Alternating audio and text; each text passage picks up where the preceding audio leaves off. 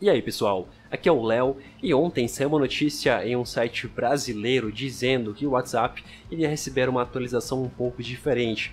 Ele iria receber uma função que já existe, por exemplo, no Snapchat há um certo tempo, que funciona mais, mais ou menos assim, ou funcionaria mais ou menos assim. Se você tirasse um print de uma conversa do WhatsApp, por exemplo, eu estou conversando com você, aí você tira um print da, da, nossa conversa, automaticamente eu iria receber uma notificação dizendo que você tirou um print da nossa conversa. E isso mexeu com a internet, mexeu com todo mundo, todo mundo acreditou nessa notícia e rapidamente o site estava bombando, um site que não tem tantos acessos assim, em pouco, um pouquíssimo tempo tinha aí 14 mil pessoas online, ou seja, 14 mil pessoas é, naquela mesma página, naquela mesma notícia. E como o post bombou e parecia uma, algo real, parecia algo verdadeiro, muita gente acreditou, muita gente começou a pirar e tudo mais, mas não se tratava de uma trollagem, tá? O site é um site de zoeira, ele não posta notícias que são realmente verdadeiras, são é, notícias para brincadeira e tudo mais, mas o post mexeu com a internet. Bom, pelo menos por enquanto a gente não vai ter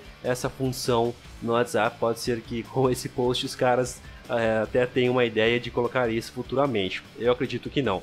Então é isso, notícia bem rápida. Eu fico por aqui, um grande abraço e até o próximo vídeo.